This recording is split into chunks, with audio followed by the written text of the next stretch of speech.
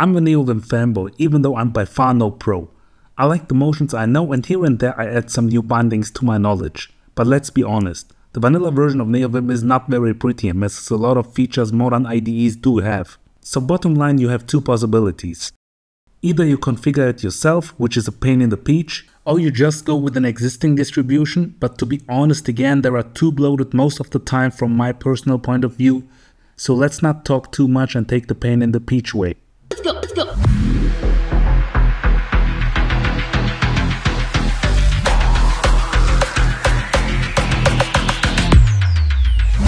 I'm starting with a fresh installation of NeoVim in version 095. First of all, create an nvim subfolder inside your .config in your home directory. In the nvim folder, create a subfolder called Lua as well as a file called init.lua. Now we're almost there. Head over to the Lua subfolder and create a directory called whogotpwned and inside that another subfolder called core. In the whogotpwned subfolder, create a file called lazy.lua. Congratulations, that was enough of creating folders and files for now. If you did everything correctly, your resulting file structure should look like as shown in the following. Let me run the tree command from the nvim subfolder to show the hierarchy. We're going to use lazy.nvim as a plugin manager for NeoVim. Head over to the GitHub repository I posted in the description box. Copy the snippet of the first box and head over to the lazy.lua file we just created in the whogotpwned subfolder paste it there, save and exit, go back to the website and copy the snippet of the second box which needs to be pasted in the same file as the first snippet. Now we need to adapt the parameter of the setup function call. Replace the content of the function call with empty curly brackets and again do not forget to save and exit now again. Go and edit the init.lua file in the nvim subfolder inside .config. Here we need to make it require the lazy subfolder under whogotpwned. This was actually enough of pasting and saving to make the Lazy plugin manager work in NeoVim. Let's test it out.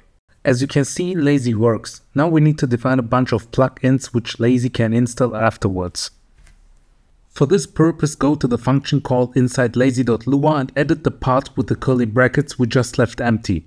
This is the part which holds the plugins to be managed by Lazy. The first plugin I want to install is a theme to make everything a little bit prettier. Of course feel free to use one you actually like more than this one. In order to not just install it but make NeoVim use it, we need to define the following function to run the appropriate Vim command. By running color scheme and the name of the respective scheme we just installed, we apply the theme to NeoVim. If you now restart NeoVim, it should immediately apply the freshly installed theme. Make sure every colon is set and there is no syntax error. Restart NeoVim and optionally run the lazy command to see what's going on or for example update, install and sync further plugins at this point. In order to check now whether everything was installed correctly, I will edit a Python file to see whether syntax highlighting is enabled. As you can see, it seems to work. Defining the plugins within the curly brackets of the lazy.lua file is actually not the cleanest way to go, but it will definitely work as you can see. To make it a little bit cleaner, we will define a dedicated plugins folder where we define each plugin separately. Specify an arbitrary file name for your plugin and point it to the respective repository to retrieve it from. As you can see in this specific case, I make it retrieve the color scheme kanagawa.nvim from the user rebelot. And again, I configure it to use the respective color scheme.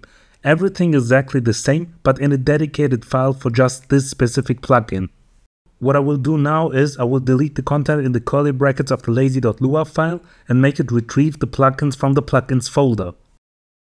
The last few steps for the basic configuration are dedicated to showing line numbers and defining a leading key for later macros we're going to define, for example in the context of the file explorer we're going to install. The following lines can be added to the init.lua in order to show relative line numbers, which are from my personal point of view more helpful than the absolute line numbers as you can use them to relatively jump a certain amount of lines up or down. Feel free to use whichever version you like more. What we will do now is we're going to install another plugin which gives us that iconic status line which appears even cooler if you have installed appropriate patched fonts. I will attach the so-called nerd fonts to the description box, so feel free to download and install them. I will install the LuaLine plugin as my go-to status line, where LuaLine on the other hand depends on certain other packages which will be defined in the following. As a last step to make NeoVim use LuaLine as a status line, we need to head over to the init.lua file and require it over there, calling the setup method on the require statement as shown. Afterwards, restarting NeoVim, we should see the status line with its patched fonts. The very last step of this video will be to install a file browser, but using it without specifying a leader key would be a pain in the peach again, as you would have to run a colon and the command to toggle the file browser all the time. So that's why we set the leader key to space to have a shorthand for calling certain commands. What you see here is that I set the command for toggling the file browser to leader F, like F for file browser, which is for me easy to remember. Feel free to use whatever shorthand you can remember best. Of course, do not forget to define the repository to retrieve the file browser plugin from, otherwise Lazy will not know how to respectively where to install it from. That's it for today's basic configuration of NeoVim in about 5 minutes. If you liked it, leave a comment, like and subscribe. Let me know you want to have further tutorials on this topic and until then, keep coding and cheers.